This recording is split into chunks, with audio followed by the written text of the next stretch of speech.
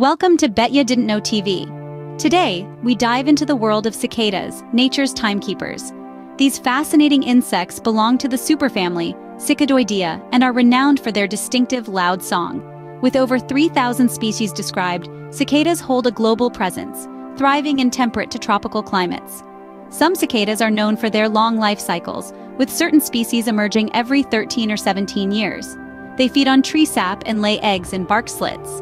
But cicadas are not just insects, they also hold cultural significance, featuring in art, literature, and folklore across the globe. In some parts of the world, they are even a part of the local cuisine. From the smallest species with tiny antennae to the largest with wingspans of up to 20 centimeters, the diversity of cicadas is astounding. Remember, next time you hear the cicada's song, you are listening to one of nature's most intriguing symphonies. Until next time, like, share, and subscribe.